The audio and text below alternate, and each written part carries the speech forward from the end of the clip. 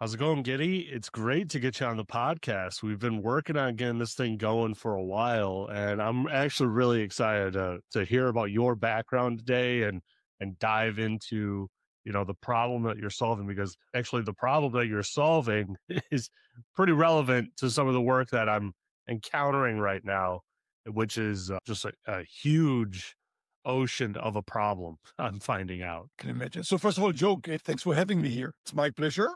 Yeah, looking forward to a, a great discussion now. Yeah, yeah, absolutely. Well, wh- why don't we start with telling your background?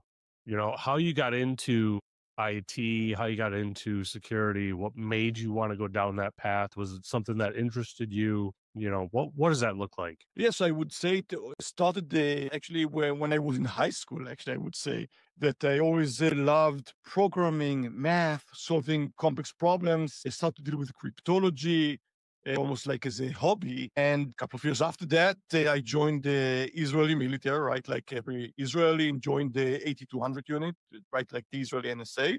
And it happened to be, which I didn't know when I joined it, actually, when I was recruited, but actually go to the same place I like to deal with the same problems as I was a kid, right? Eh, on the cryptology side. Served there for X amount of years and then kind of moved on, moved on to the industry.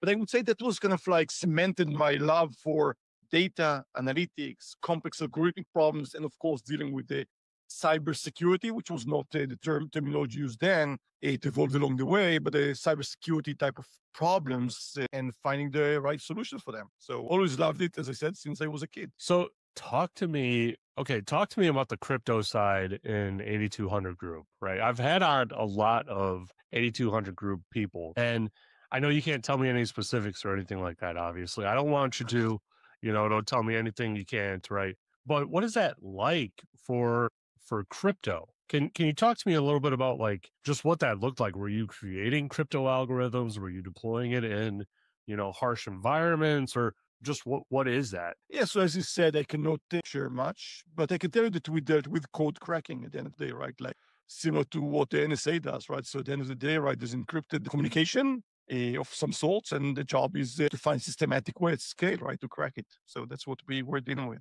many years ago. I probably information uh, is very, very out, outdated by now, but that's how my career started, actually. Yeah, it's fascinating to me because you know, like you always think, you always think anything digital, like the NSA, the 8200 group, you know, Russia, China, they could just break into it. You know, you just kind of assume that as like an outsider, right? And then you read the story about how like the NSA and the CIA came together, created a company in Germany that was like, you know, creating these devices to sell to their our adversaries that had a back door built into it, right? Because we couldn't find out how to break the crypto that like, you know, just everyone is